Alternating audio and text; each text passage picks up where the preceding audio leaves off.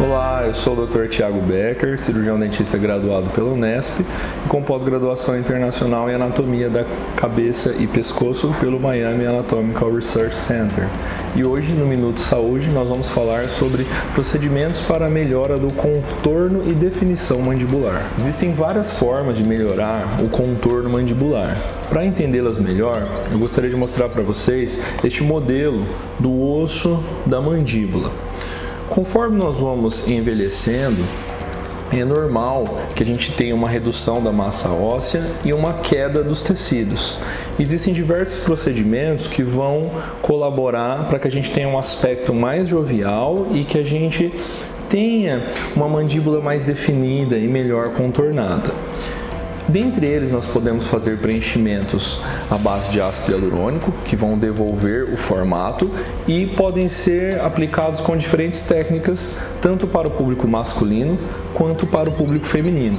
Nesta imagem aqui, a gente vê tratamentos para melhora do contorno da mandíbula em um paciente do sexo masculino. Repare como o novo formato conseguido com o tratamento deu características de mais virilidade, características de maior força para o paciente, melhorando a harmonia e o contorno facial dele.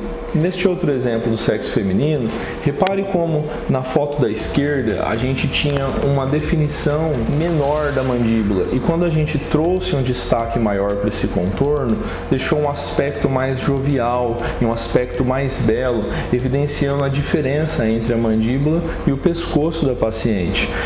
Nesse caso, nós podemos associar tanto a aplicação de toxina botulínica, quanto preenchedores, quanto bioestimuladores de colágeno.